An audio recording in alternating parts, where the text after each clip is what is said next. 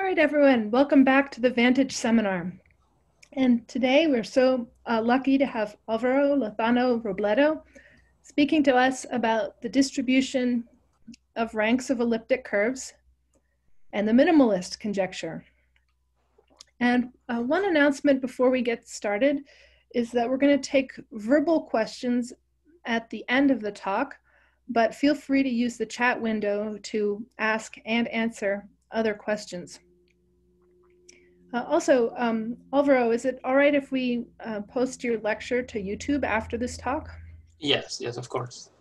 All right, thank you. All right. Well, um, hello everyone. Uh, thank you for pointing your direction, uh, your internet connection in the direction of my talk. Uh, and thank you to the organizers for giving me the opportunity to talk in this seminar. It's my uh, pleasure to talk about ranks of elliptic curves, which is my favorite topic in number theory um, there's been already two uh, wonderful talks by Poonen and Elkies on ranks of elliptic curves, and I highly recommend you watch those also. If you haven't yet, they were awesome. Um, and uh, what I would like to do today is supplement um, what they did by talking a little bit about data. So I would like to give you a tour of uh, the data that is available to us and what does, does, does that say about um, conjectures and about what we know about the distribution of ranks of elliptic curves given the data we do have. Let me get started. Uh, our goal uh, is to understand the possible structures of the Mordell-Weil group. So we want to understand what are the possible uh, structures of the rational uh, points, the group of rational points on an elliptic curve. And uh, we know uh, that by the Mordell-Weil theorem, we have a, a, decomposition of the group of rational uh, points into uh, a finite group uh, that is just the torsion part, uh, and then uh, some infinite part, which is what actually we're interested in right now is the rank of the elliptic curves. What is that number um, of, what, what is that number of independent points of infinite order? So um, I would like to start by just telling you a little bit about the torsion subgroup, just because uh, the torsion subgroup is what I say is the poster child of what an arithmetic group should be like. Um, because torsion subgroups are uh, over Q. Uh, there's a lot of research going on over for torsion subgroups over number fields, but over Q, um, we know how to compute uh, torsion subgroup. We can do also that over number fields. We have a full classification over Q, what torsion subgroups are there, we can parameterize them in families, and we know about the statistics on torsion subgroups. So let me uh, tell you a little bit more. So uh, the torsion subgroups are computable by the Nagell-Lutz theorem or using division polynomials, we can effect, uh, efficiently compute torsion groups. Um, the famous Mazur's theorem tells you what are the possibilities for torsion groups. It's one of these uh, 15 possibilities up to isomorphism uh, we know how to parameterize uh, elliptic curves with a given torsion.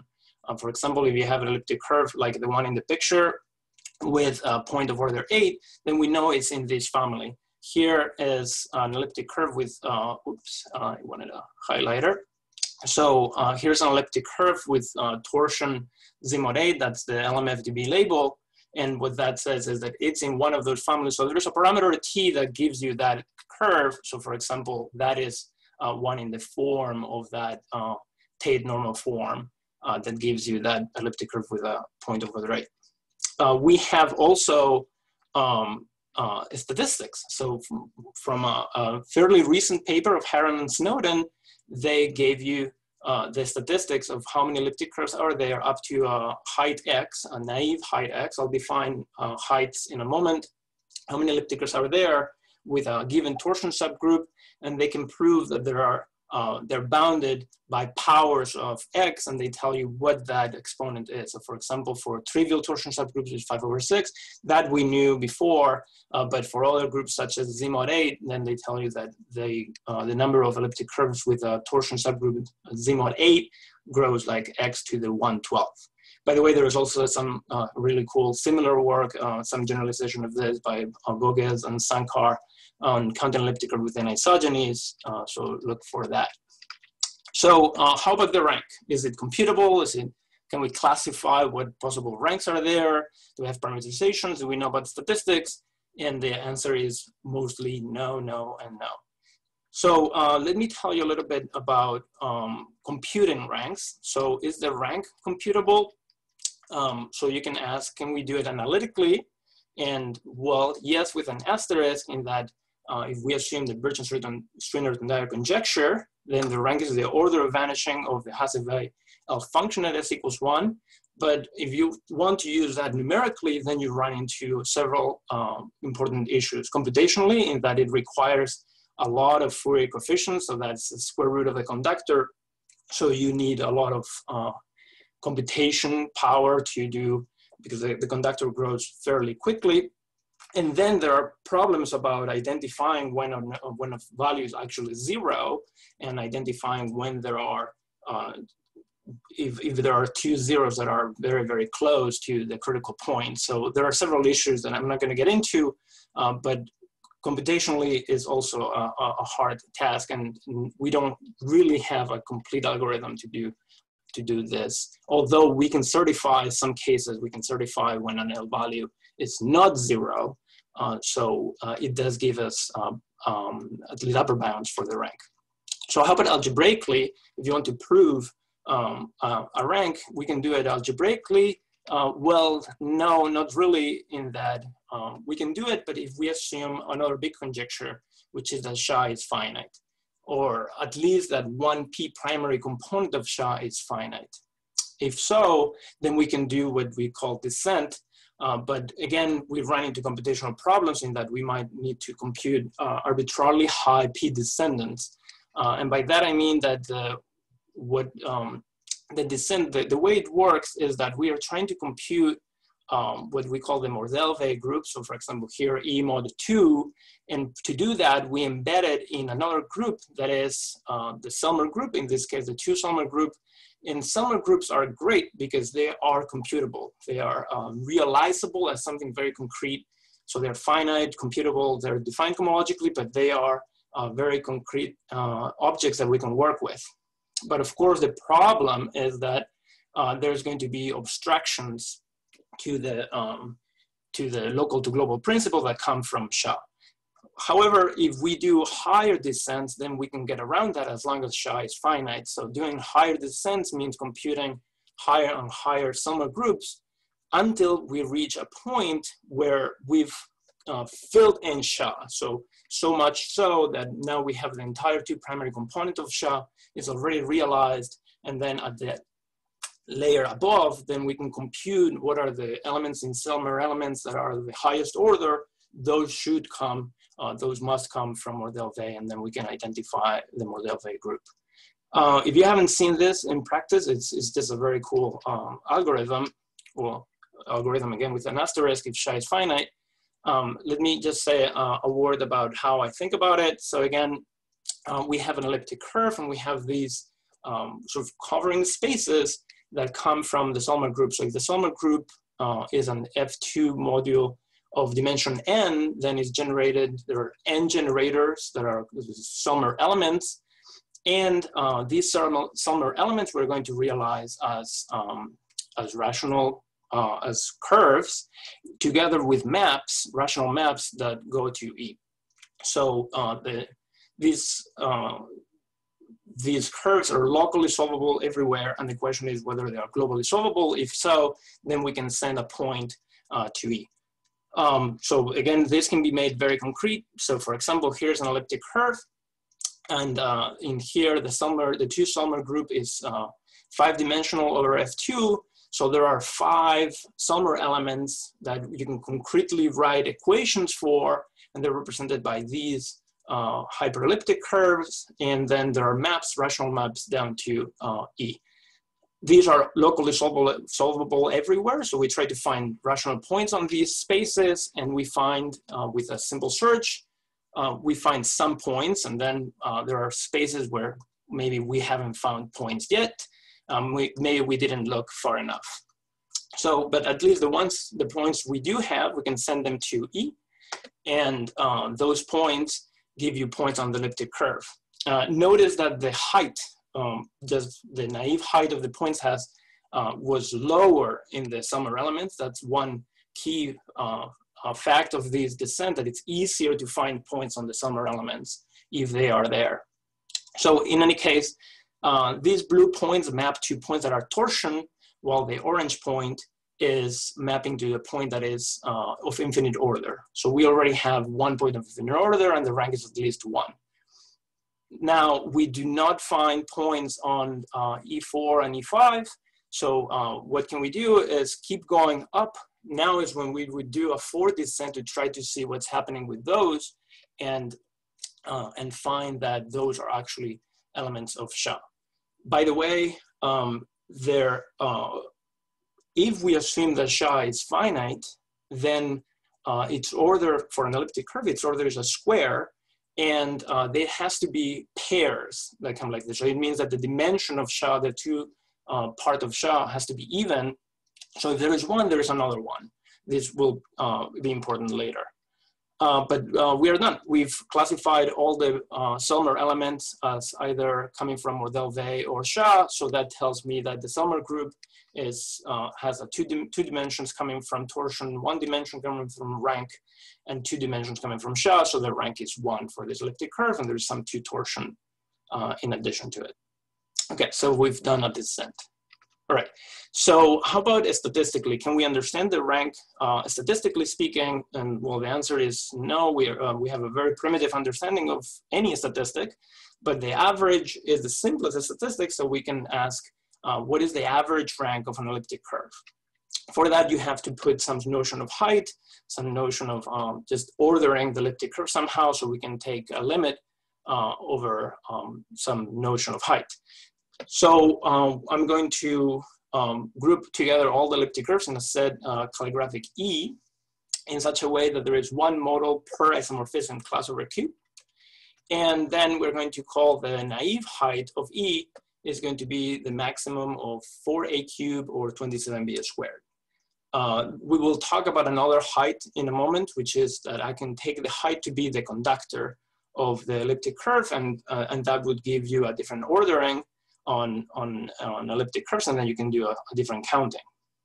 Okay, so uh, I will also define um, sets up to height x. So this is elliptic curves up to height x. And whenever I write a pi, uh, that's a counting function. So in this case, pi of e is counting how many elliptic curves are there up to height x. All right, so um, what now we can formalize our question about the average rank is that we would like to know the behavior of this function uh, average rank. Uh, so the sum of all the ranks up to height x divided by the number of elliptic curves up to height x. So what do we know about that? Um, well, what can we sort of, at least heuristically, we don't know much. So heuristically, uh, this is our heuristic understanding of what the average should be comes from a few things.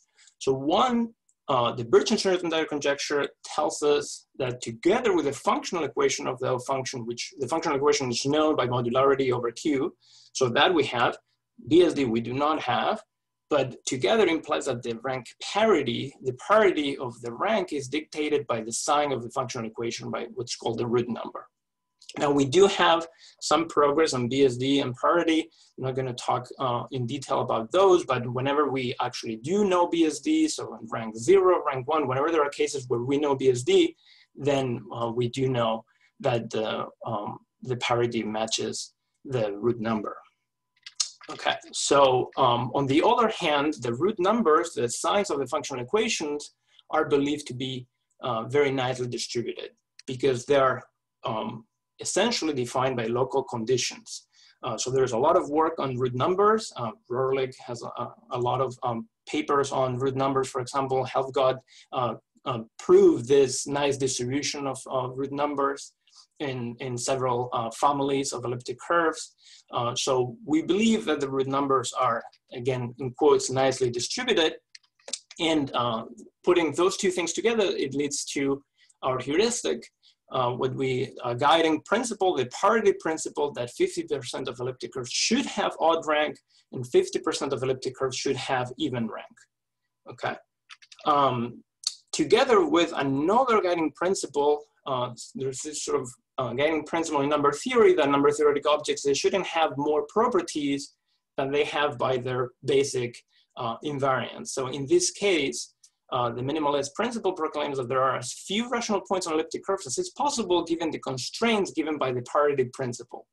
So if the parity tells you that the rank should be odd, there should be a rank one, the smallest possible, so there are infinitely many points. If the parity tells you the rank is even, there should be rank zero, and there should be finitely many points, distortion.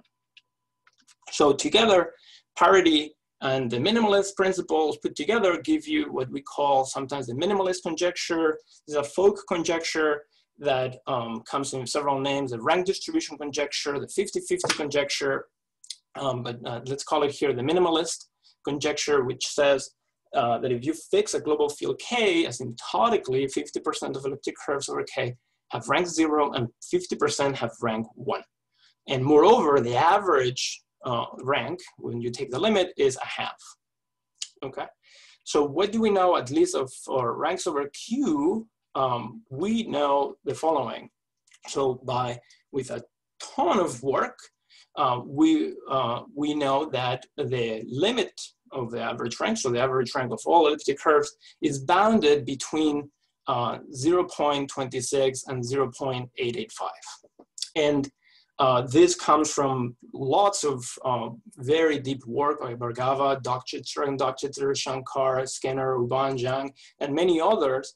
Uh, so these seemingly um, um, harmless uh, bounds are actually huge theorems in that here we basically need everything we know about BSD to prove that bound.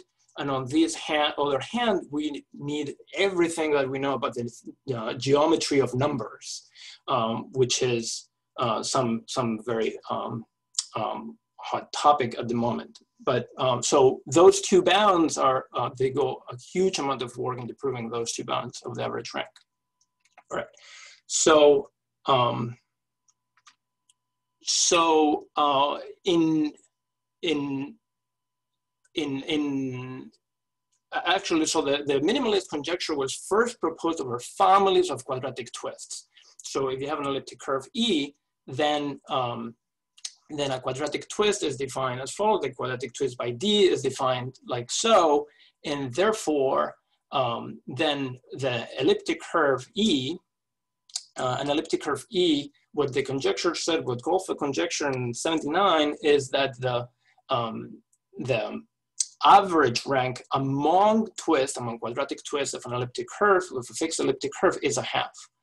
Um, there is uh, quite a bit of progress on Goldfeld's conjecture, so the average rank on families of on certain families, and in particular the families of quadratic twists of an elliptic curve. Uh, first, there was uh, a, a, quite a bit of support coming from random matrix theory and computations about like models of how the, uh, the distribution of ranks should uh, seems to follow uh, models from uh, random matrix theory, work over function fields, and all this work even in, includes heuristics on what twists have even parity and positive rank. Uh, more recently, Smith has proved that uh, the Birch and Swinnerton-Dyer conjecture implies Goldfeld in many cases, and then more even more recently, uh, Daniel Kriz has shown that Goldfeld holds for the congruent number family. Um, so we we know quite a bit about uh, Goldfeld's, um, but not so much about the full minimalist conjecture for all elliptic curves. So uh, as I was saying at the beginning, what I would like um, to um, what I would like to talk about is about the data. What data do we have available to us and what does it say about these conjectures and about the distribution in general of ranks of elliptic curves. So um, let me give you just a brief history of how um, elliptic curve data has been uh, accumulating. So uh, in uh, the Antwerp 1972, the numerical tables on elliptic curves, uh, there was a list of all curves with conductor up to uh, 200. That's in the background, by the way, uh, in this slide. That background comes from those tables from Antwerp. Um, later on, Brumer and McGuinness uh, in 1990 found about 300 elliptic curves of prime conductor up to 10 to the 8. in 1997, uh, Cremona released the first version of uh, his database and found all the curves up to conductor 120,000. uh, and by 2002, Stein and Watkins found first all the curves of prime conductor up to 10 to the 10, and also con uh, composite conductors up to 10 to the 8, but with discriminant up to 10 to the 12. So let me just stop time there and see what, uh, what average ranks looked by then, by 2002. And remember that Goldfeld's conjecture, for example, was from 79. Uh, so uh, the average rank in the Stein-Watkins uh, database, so if you take all the elliptic curves in the Stein-Watkins database, and now the height is the conductor of uh, the elliptic curve, and then you try to do what is the average rank as the conductor grows, then it turns out that the average rank grows with the conductor instead of dropping to a half. So this is uh, quite odd and surprising that, um, well, first of all, that the average rank is nowhere near a half. Uh, so the last value in this graph is, graph is 0.86, and that is not decreasing, uh, seemingly, it's actually increasing. So this is uh, this was taken from a, a snapping time, snapshot in time of a talk by Bhargava in 2011 on the average rank of elliptic curves. Let me take another snapshot of uh, some paper of Bektemirov, Mazur, Stein, and Watkins in 2007. Uh, here is the, um, the average rank in the Stein Watkins, data, uh, Watkins database as a function of the log of the conductor.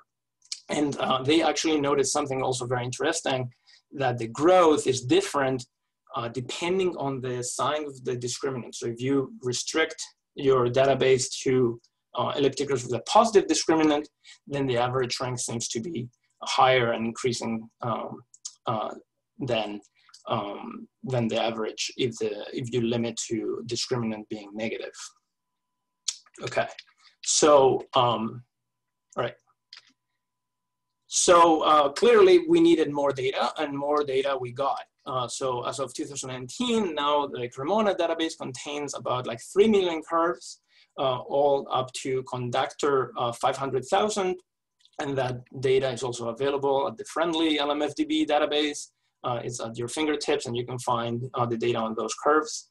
And more importantly to this talk, um, in 2016, Balakrishnan, Ho, Kaplan, Spicer, Stein, and Weigandt released another database, uh, what I call the BHKSSW database, with about, with about 239 million elliptic curves, which are all up to uh, height 2.7 times 10 to the 10, okay? Uh, plus six large height data sets of 100,000 um, curves each with some higher heights. All right, so what does their uh, database say about the rank? Well, a big sigh of relief. That's what it gave uh, that database in that uh, now the, um, the rank does grow at the very beginning, but then it starts to drop. Starts to drop really slowly. Uh, notice the, the bounds on the, on the y-axis here, that uh, the, the last value here is still 0.9019 in the in this database. Uh, so um, so there's uh, still quite a, quite a ways to go all the way to a half. And um, and yeah, and the these sort of local max of heights looks like it's uh, at uh, height 7.8 times 10 to the 8. All right. So um, this graph brings uh, perhaps more questions that it answers um, which is still like why, first of all, why is there such a sharp increase in average uh, rank at the very beginning of the interval? And then um, why is it, is it, dropping so slowly? And is it really dropping to uh, a half? Um, so um, these are very good questions. There are some questions more specifics about like whether the limit exists in the chat, and uh, I, I, definitely led all, all, those people to answer um, those questions. I, I, can talk about those um, more specifics in a, in a bit uh, at the end of the talk. But yeah, we would like to know why is there such increase, and then whether the average rank goes to half in the limit, or at least the lim the lim inf and the lim sup. Uh, we don't know that this limit exists, um, but computationally, we would like to um, to see where this average goes. All right. So um, some data that uh, you may not have seen, I had not seen before. I've done quite a bit of work with with this database about um, the data that we do have. So let me show you some uh, signal analysis with the contributions by rank on the average rank. So here again, the blue line of the blue dots is the average uh, rank as a function of the naive height. And then rank contributions by rank one, two, three, four, and five are in different colors as shown. So, um, so the red line is the contribution that elliptic curves that just have rank one divided by the total number of elliptic curves. What is that contribution adding to the average rank? So uh, let me zoom in in one of those. By the way, uh, from now on, the interval is going to be uh, on this side. Uh, the interval is 0.03, just so you have an idea of the scale, except at the very end, there will be a different interval. So uh, here you can see that uh, the contribution of rank one is strong at the beginning this, then sort of like tempers, but somehow the contributions by other ranks are very different. Um, for rank two, it also starts, there's a, a, large contribution of elliptic curves of rank two at the very beginning that drops quite rapidly. Um, for rank three is different. Of course, we don't expect too many elliptic curves of rank three, not until, um, I forget what's the, the first height of rank three, and like conductor is in like 5,000. Um, but I forget what the, well, anyway, uh, the, uh, you, you, as you can see, the, um, the contributions are quite different depending on the rank. And this is the contribution, rank five, as is here, I had to zoom in because there is very few elliptic curves of rank five. Overall, there's only like 6,000 elliptic curves of rank five in the database. Uh, so the contribution to the average rank is quite small. Okay, so, um, so here's the question. If the minimalist conjecture holds, at what naive height should we expect the average rank to be about a half? Um, so I try to answer this question. I propose, well, I, I challenge myself to find some sort of probabilistic model that explains the graph of the average rank up to height x. And um, while we're shooting for the moon, I would like some model that explains the proportional elliptic curves for each rank up to height x, and not just asymptotically, I really am interested in actual data of elliptic curves. So I want to know at height 10 to the 12, what is the distribution of ranks? How many ranks of, uh, how many elliptic curves of rank one, two, three, four should I expect? So uh, in 2016, I proposed a probabilistic model based on an idea of Cramer for a random model of prime numbers for ranks to try to answer these questions. And um, whether or not you believe the, um, the model, I think you'll, uh, you'll be interested in some other features of ranks that I'll, that'll show up in a moment. So uh, here are some spoilers of uh, what the model predicts. So in blue again is the database uh, data on the average rank, and in red is the prediction of the average rank. Um, so once the model is built, it can predict what the average rank function should be, and it's um, and that kind of fit um, is what you get. So there is, um, with the zoom in, again, the interval in the y-axis of 0.03, uh, there is some discrepancy uh, in the model to begin with, uh, but then it seems like uh, the asymptotic behavior is, um, is correct. Um, but the beauty of coming up with a probabilistic model is that uh, the probabilistic model comes with error estimates by default, by, um, um, by variance and standard errors and things of that sort. So the model predicts what this error uh, might be, and you'll see at the end that um, the, the bound of the error is within what the model predicts. Right, so um, the model is built actually modeling um, contributions of different ranks. So it also predicts, it does predictions of what the average rank uh, one contribution should be an average uh, rank two and rank three and rank four and rank five, what those contributions are, which put together give you the average rank uh, of elliptic curves.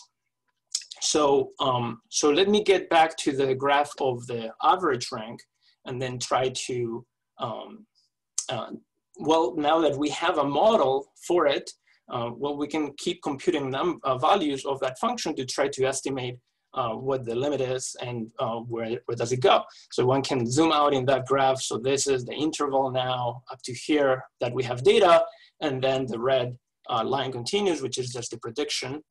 notice that up to height uh, 10 to the 11, uh, the average rank has not dropped significantly. If you keep going, uh, then by somewhere in height 10 to the 12, you do reach the one theoretical bound for the lim sup that we have through the Bhargava uh, Shankar bound um, is uh, crossed somewhere around here. So you, so we expect that somewhere in height 10 to the 12, we would see uh, the average rank be lower than the that, that predicted bound uh, or that proved bound. Uh, and then if you really zoom out, so if you go to heights of 10 to the 100, then you start to see that the average rank uh, is close to 0.5. Let me just give you a table of these uh, conjectural values of the average rank that this model would predict. And again, uh, point out that if you want to see somewhere like really close to 0.5, then we should probably um, expect that we're going to need to go at least to height 10 to the 100 to see such a thing. So, um, so this is not uh, surprising given the model that uh, we're still really far from seeing half if, if the minimalist conjecture is actually true.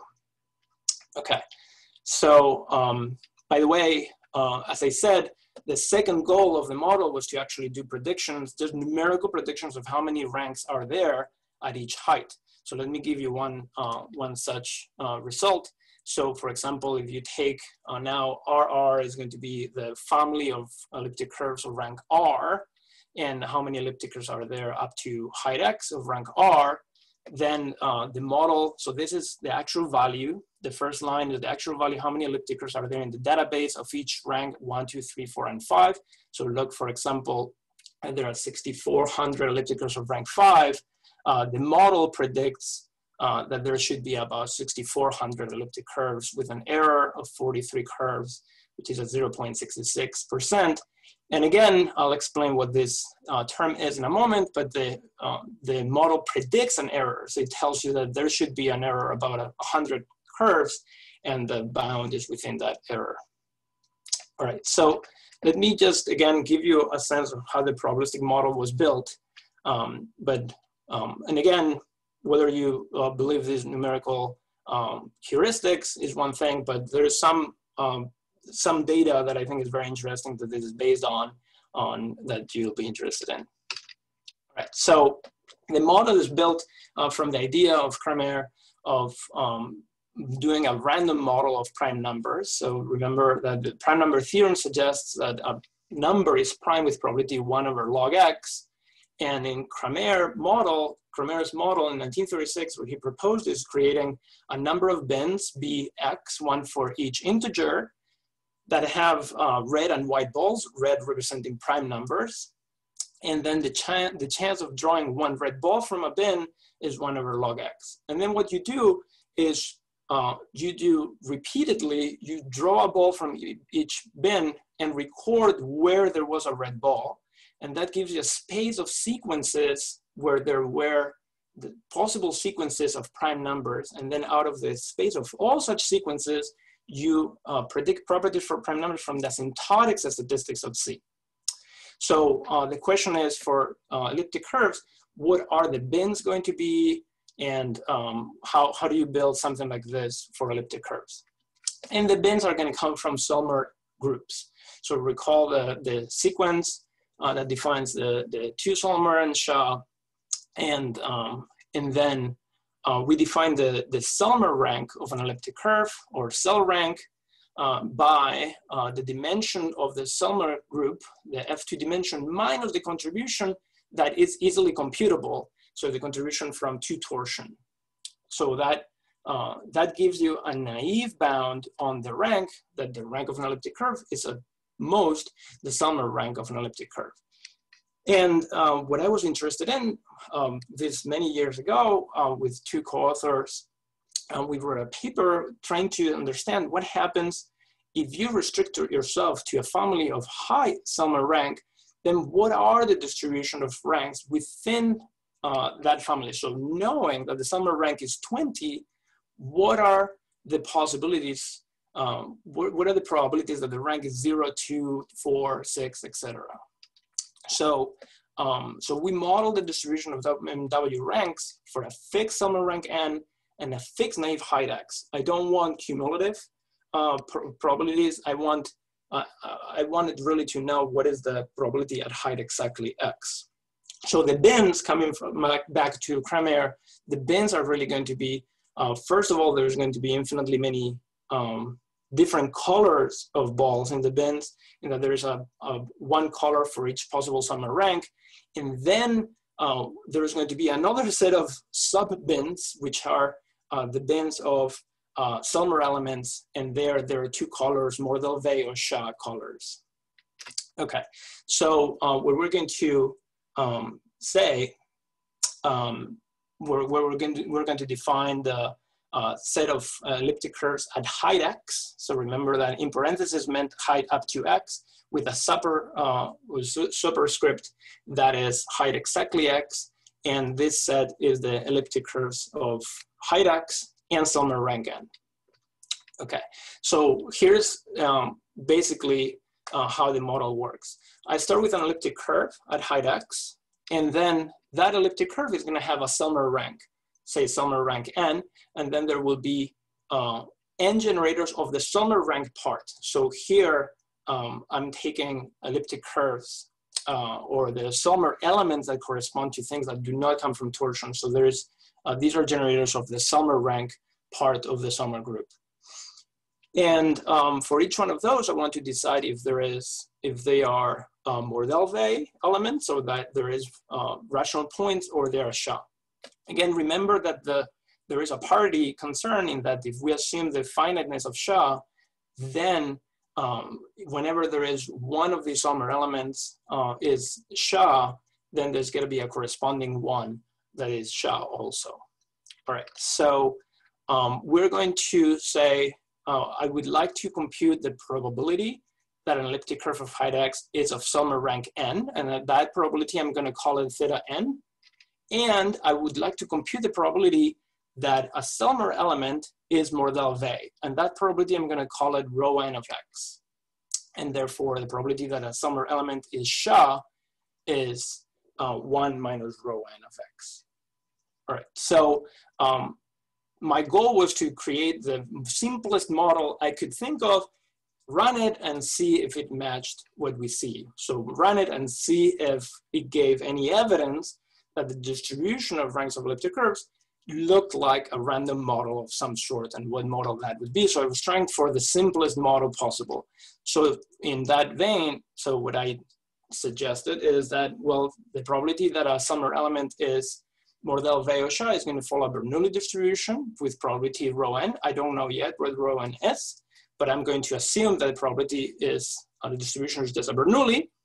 And then I'm going to assume first uh, also that the probability that an elliptic curve is of Selmer rank n, that it also follows a Bernoulli distribution, and uh, the distribution of these Selmer elements, whether they're Mordell-Weil if you assume that this is a Bernoulli, and you assumed that the, that the um, events are independent, that it would follow a binomial. Um, it's not a binomial of n um, choices in, in Bernoulli's, because as I said, there is some parity concern. So, um, so some elements are paired in some way that really everything is decided by n over two or the floor of n over two Selmer elements. So this would be the most basic way that uh, this distribution could be. Um, and we'll, we'll see in a moment that actually this is um, not, I, I'm in the model that I proposed, actually did not assume that these are independent, and I don't think it should be independent because these Selmer elements are very much related to each other. All right, so this is the basics. So for example, if n equals four, so if the Selmer rank is four, then the expected value of the number of elliptic curves of Selmer rank four and Mordell-Weil rank zero, two, and four should be given by, so I, there are two pairs of Selmer elements, the Selmer rank elements to consider. So there's a pair and a pair, and you have to decide if this is a pair that is SHA and a pair that is SHA, that would give you rank zero. And then the probability that this happens would be, uh, well, the number of elliptic curves at height x. The probability that an elliptic curve at height x is Selmer rank four, and the probability that each one of those two are SHA elements. Similarly, if you want rank four, then both pairs have to be Mordell-Weil, so you get the same type of probability, but now with rho four instead of one minus rho four. And for this pair, there's two possibilities. This is SHA or this is Mordell-Weil, and this is SHA or Mordell-Weil with opposite parity here, and that gives you uh, this distribution, all right? Uh, and again, this would assume that they're independent, which are not, and the model does not assume so, but in any case, this is just for the talk simplification. And uh, in an odd rank, the parity um, determines that there has to be a Selmer element that is Mordell-Weil. So that is probability one, this element will have, um, will be Mordell-Weil. And then again, the rank is determined by what happens to two pairs. So again, we get probabilities that are similar. In this case, um, the probability is that they, there will be um, of each type of rank. And again, the probability that this is SHA and this is SHA, I believe those need to be somewhat dependent in that those Selmer elements are they're essentially twists of each other. So if one has rational points, um, the other one having rational point, there is some dependency. And so in the model, I do study some covariance factors that I calculate and, add to the model to compute um, with the probabilistic model. In any case, whether you believe this or not, now we can look at the data of elliptic curves and see if it follows something like this. And uh, so if you look at elliptic curves, so you look in the database uh, for, uh, for example, this interval right here, these are uh, elliptic curves of Selmer rank two, Selmer rank three, Selmer rank uh, four, and Selmer rank five. For example, in rank three, the rank will be one or three. The number of elliptic curves of rank one are in blue. Uh, the number of rank three are in blue here. Uh, and then in green are the predictions. So you see that those probabilities actually match uh, fairly well uh, what actually happens in that interval. Once you've computed what theta might be and what rho might be, it actually gives you some um, accurate description of what happens numerically. It gives you some predictions. So for example, um, in, the, in this interval, there is 158 elliptic curves of Selmer rank five. The actual distribution of ranks uh, with rank one, rank two, oops, uh, rank uh, three, and rank five, uh, wrong pen. So this is uh, rank one, rank three, and rank five. And these are the predictions. It predicts there should be about 21 elliptic curves of rank one, about 73 of rank three, and, seven, and 63 of rank five, uh, which is uh, similar to what actually happens. So those models seem to match uh, reality, at least in, within the database.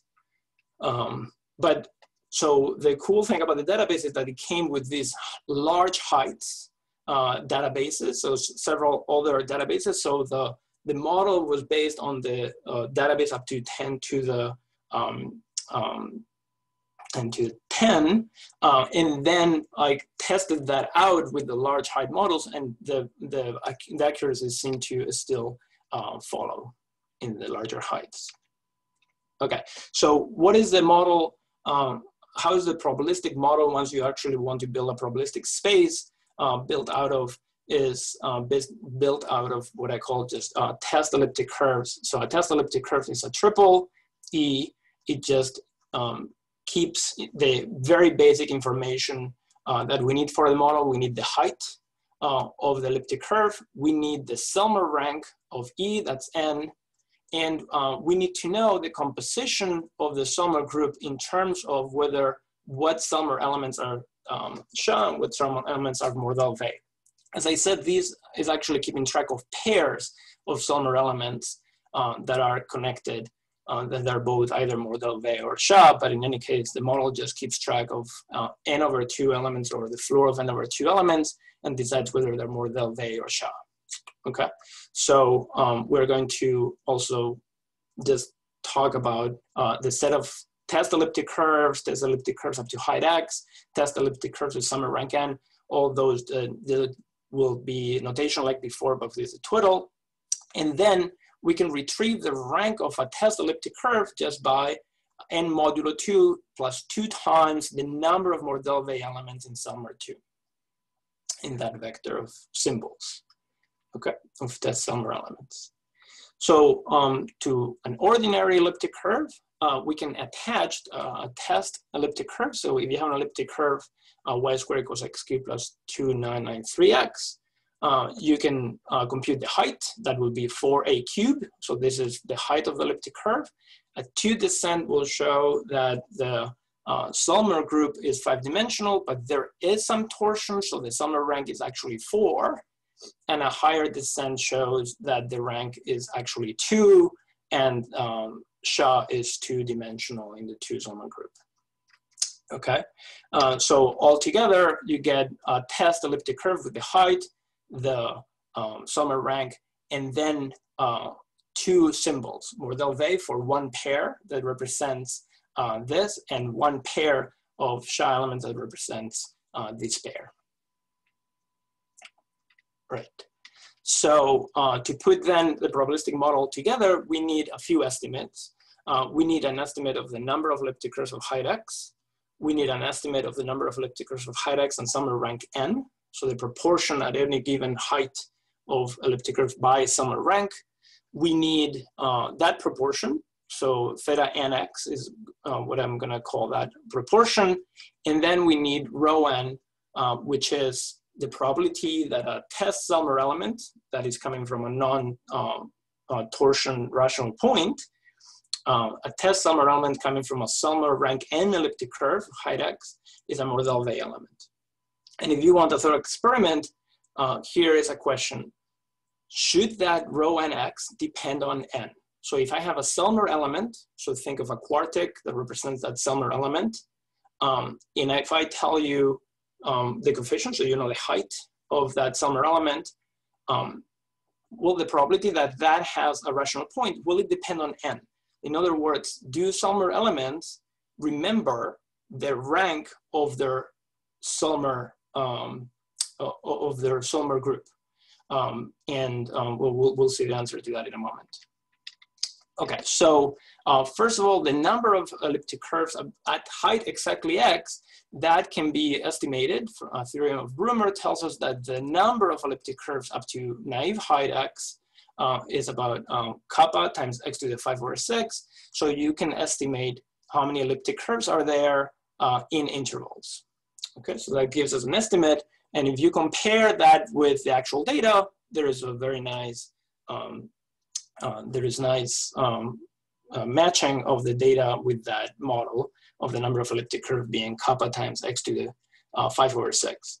Notice, however, that there is um, there's an error uh, estimate in there in that um, uh, approximation, and uh, that actually will limit the power of our model um, once we do, for example, average um, averages. Okay, so here is the values of the number of elliptic curves up to height x. For uh, the number of elliptic curves up to uh, or uh, exactly height x and Selmer rank n, um, well, uh, we have the, the Poonen-Rains conjectures that for p equals 2 reads as follows. So following work on quadratic twists by Heath Brown, Monsky, Kane, Swinnerton Dyer, and there's more recent work on this. Um, there's this conjecture that the probability, so the, the final distribution of uh, how many elliptic curves of each Selmer rank are there, uh, so in the limit, um, the probability is uh, given by this formula. So I'm going to assume uh, the, the Poonen-Rains uh, heuristics in the model, and these are some of the values of the Poonen-Rains constants. Okay, so um, we are going to assume in the model, as I said, that picking a test elliptic curve of some rank n out of uh, the, the bag or the bin of elliptic curves of height x, uh, that is just a Bernoulli distribution. Okay, so there's a Bernoulli distribution with probability theta n, and I'm going to assume that that limit distribution, the limit of the distribution is Sn, the value from the uh, Poonen-Rains heuristics. So let me show you the data from the database of what that looks like. So what is the proportion of elliptic curves of high of Selmer rank n at each height? In blue is Selmer rank one, then two, three, four, and five. And um, for example, remember, so the limit, uh, the conjectural limit is 0.41. So it's not too far off uh, from that limit and um, seems it's plausible it is converging to that limit uh, from the data. So what I did is come up with, uh, again, for numerical computations, for numerical purposes, come up with the simplest models I could think of of uh, that fit these graphs. So the simplest models being uh, simplest algebraic or rational functions that would be a good fit for this. And um, these are the ones that seem to be uh, the best fits. And then uh, through a regression, I computed values of those constants, uh, Cn and En, uh, to, uh, to model those, um, those graphs. And it seems like there is a very nice agreement between the data and those graphs. Unfortunately, I do not have a heuristic reason for the shape of the graphs, and I would love if somebody had um, a reason why these graphs would look uh, like this or anything close to this or, or different. If an, an explanation for these graphs would be amazing. Um, and then you can do the same for rank four and rank five. And then you see that in rank four, for example, there is quite a bit of noise. But again, if you assume that you're working with a probability uh, distribution, this noise is expected when the um, the probability is low, you know the, the, what the variance will be, and it actually predicts this amount of variance. So this noise is not a problem for the model, it's actually expected from a random model that there will be this much noise. Uh, so in fact, the noise can be modeled, and if you take n elliptic curves and then uh, you try to see how many of those are Selmer rank n, that will follow a binomial distribution. If those you are assuming that those uh, are chosen independently, then it will follow a binomial distribution, and it tells you what the binomial distribution is with uh, the expected value and the standard error. Um, since for large values of m, this binomial is approximated by a Gaussian distribution, you can test this hypothesis. So you can go to the data and see what happens, um, draw the Gaussian distribution that there should be and see that there is a nice match. So in here, what I did was pick 100 elliptic curves, say for example here of uh, Selmer rank one. Uh, so in uh, so for Selmer rank one, pick 100 elliptic curves and then see how many uh, have Selmer rank one. Here's somewhere the average and then how many uh, happened for 10,000 experiments. It fits that kind of distribution that you come from a binomial, which is approximated by a um, by a Gaussian. And this would be in Selmer rank two, how many rank Selmer rank three, how many Selmer rank four. All right, so that allows you to compute also uh, expected values of how many elliptic curves of each Selmer rank there should be. And uh, again, the data matches very well the, uh, what the models predict by Selmer rank.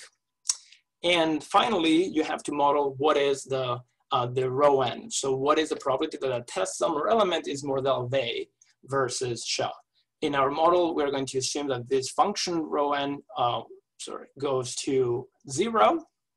And um, we're going to again assume that picking each Selmer element, whether it's a Mordell-Weil element or not, follows a Bernoulli uh, with probability rho n, and the limit of the distribution is zero. Uh, here, though, picking again um, whether the, the different yi's here, these random variables, I do not assume that they are independent, and I believe they are not independent and they shouldn't be, and also assume some sort of equicorrelation between these variables, which is a technical condition I will not discuss here.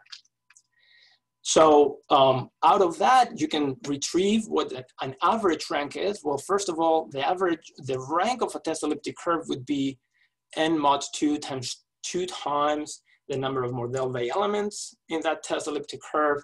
Uh, that gives you the expected value of the rank and it gives you the expected value of a sum of ranks. Um, and then out of that, you can, well, first of all, model the average rank and also model what rho n should be. So I have data for rho n, and now here comes the, uh, the surprise that uh, rho n really behaves very differently, this success ratio of a Selmer element being Mordell-Weil, it behaves very differently whether you have Selmer rank two or three, for example. Two is in green, three is in red. So it's much more likely that a Selmer element that comes from rank two is Mordell-Weil, or that it comes from rank four is Mordell-Weil. And for some reason, for example, the rank threes, uh, Selmer rank threes are much less unlikely to be a, a more a element, which is very strange, but um, it does depend on n.